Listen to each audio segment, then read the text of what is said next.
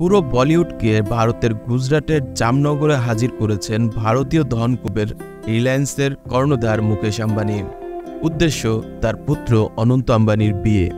ভারতীয় সকল তারকা শুধু হাজির হননি, নেচে গেয়ে মাত করেছেন অতিথিদের। আগামী বারো জুলাই সাত পাকে বাধা পড়বেন অনন্ত আম্বানি এবং রাধিকা মার্চেন্ট। সেই স্কুল জীবন থেকে তারা বন্ধু। কিন্তু বিয়ের কয়েক মাস আগেই অনুষ্ঠান হলো প্রাক বিয়ের অনুষ্ঠান। পয়লা মার্চ থেকে তিন মার্চ পর্যন্ত চলে এই অনুষ্ঠান।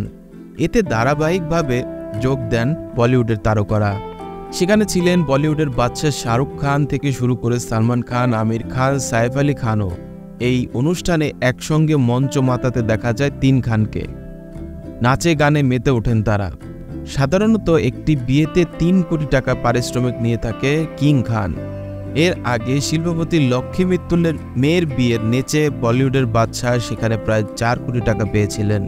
দু হাজার চার থেকে দুই হাজার বারো সাল পর্যন্ত দুইশো পঞ্চাশটি এমন নামী ব্যক্তিত্বের বিয়ের অনুষ্ঠানে নাচ করে শাহরুখ খান নাকি দুইশো কোটি রোজগার করেছিলেন।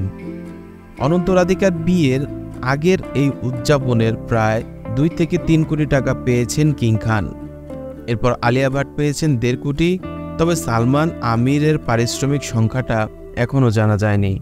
সো বন্ধুরা, শাহরুখ খানের পারিশ্রমিক নিয়ে তোমাদের কেমন লাগল?